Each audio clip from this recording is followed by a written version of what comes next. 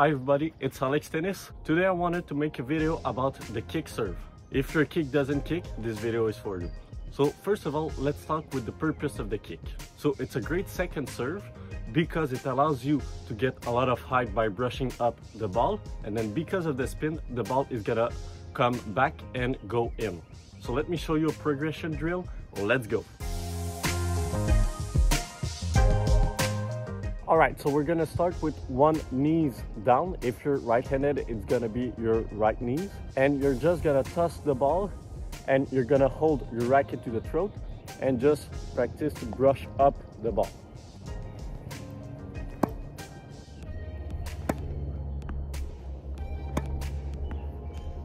The goal here is to feel that the ball goes up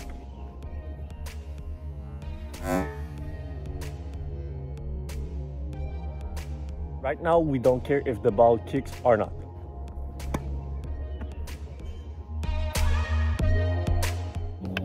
When you're ready, you can start to hold the racket in the handle.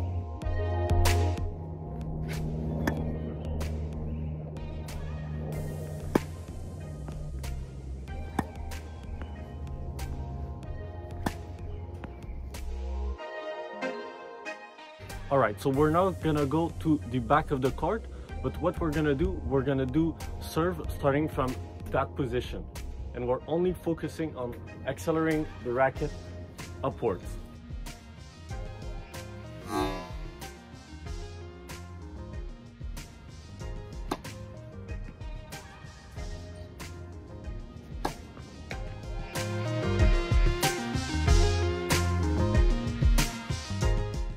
Once you have the feeling, you can start to do the full motion and try to see if your kick start to kick again.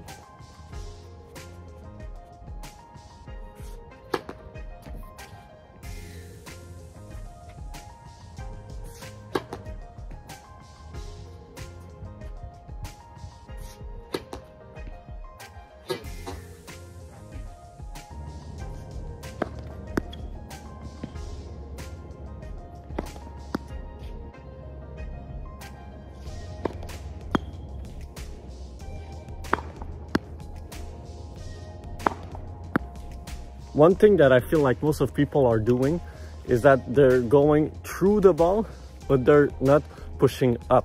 For the kick, it's really important to push up because if you're not doing it, you won't have any kick in your ball. Finally, here's the last thing that you're gonna do.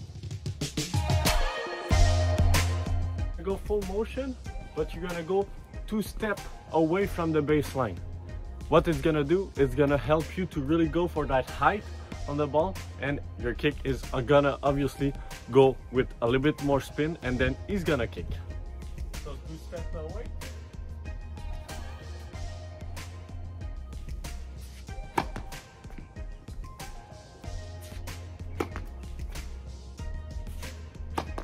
So that's it. You can repeat this progression once or twice a week and your kick is gonna be a lot better.